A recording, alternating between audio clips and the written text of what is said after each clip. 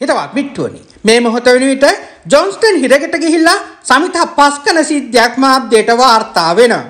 අද දවස්නේ මෙච්චර කලක් පොලිසියට කට්ටි පෙනමින් හිටපු ජොන්ස්ටන් පොලිස් අත්අඩංගුවට පත් වුණා. අද දවසේදී ජොන්ස්ටන් රහස් පොලිසියට ආවේ කට උත්තරයක් දෙන්න තමන්ගේ BMW රථයේ සම්බන්ධයෙන්. මේදී පොලිසිය දීර්ඝ කට උත්තරයක් සටහන් කර ගැනීමෙන් අනතුරුව ඔහුව අත්අඩංගුවට ගත්තා. විශේෂයෙන්ම අද උදේ රහස් පොලිසියට එනකොට වීරයෙක් වගේ පපුව පුම්බලා ලොකු කයිවාරුවක් ගහලා ඇතුළට ගිය ජොන්ස්ටන් මේ වෙනකොට බලුකුක්ෙක් වගේ තමයි විශේෂයෙන්ම පොලිස් බහරේ ඉන්නේ. කොහොම වෙතත් අද දවසේදී ජොන්ස්ටන් කොටුව මහේස්ත්‍රාත්වරයා වෙත ඉදිරිපත් කරනවා කියන එක රහස් පොලිසිය මේ වෙනකොට මාධ්‍යයට සඳහන් කරලා තියෙනවා. මිත්‍රෝනි පෞගේ කාලේ විශේෂයෙන්ම සති දෙකකට ආසන්න කාලයක් ජොන්ස්ටන් දිගින් දිගටම කට්ටි පැන්න පොලිසියට.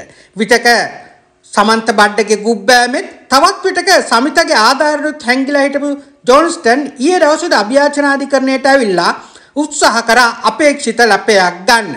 හැබැයි මෙච්චර කලක් බොහොම අක්‍රියව හිටපු නීතිපති දෙපාර්තමේන්තුව ක්‍රියාත්මක වෙලා ඊයේ දවසේදී ඒකට විරෝධය පෑවා.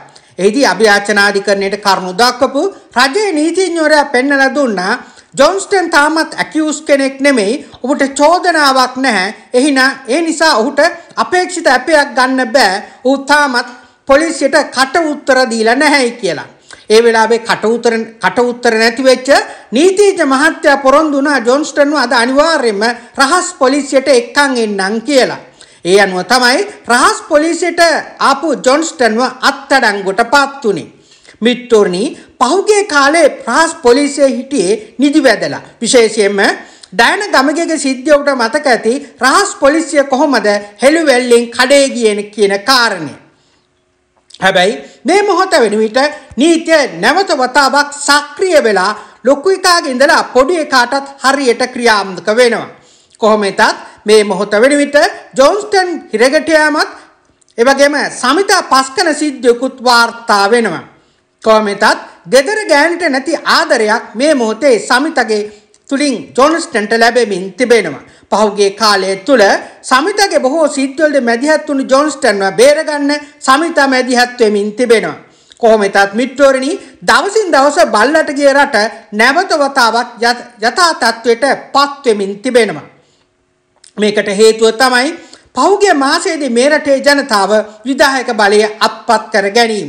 හැබැයි විධායක බලය අත්පත් කර ගැනීමෙන් පමණක් මේ රට නිවැරදි තැනකට තල්ලු කරන්නට බෑ.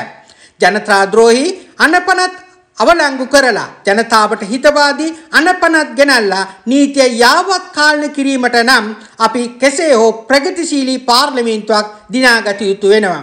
අන්න ඒ සඳහා හැකියාව ඇති දක්මක් ඇති සමාජ දේශපාලන කණ්ඩායමක් සමග අපි පෙරමුණට යමු. නිට්‍රෝනි අරවින්ද ජයග්‍රහණය නොමැතිව ඔබට සිහිපත් කරමින් මා ඔබෙන් සමුගන්නවා. ඔබ සැමට ජය